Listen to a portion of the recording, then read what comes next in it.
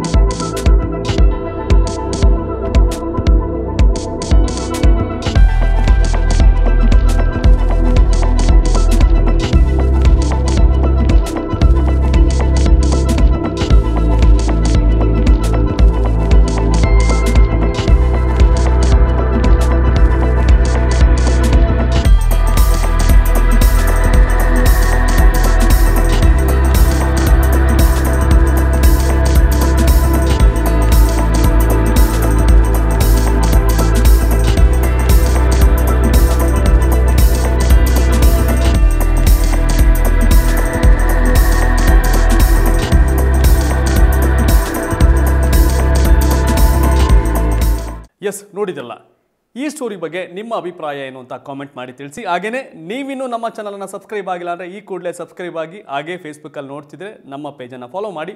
ಇದು Karnataka T V ಕನ್ನಡಿಗರ ಧ್ವನಿ.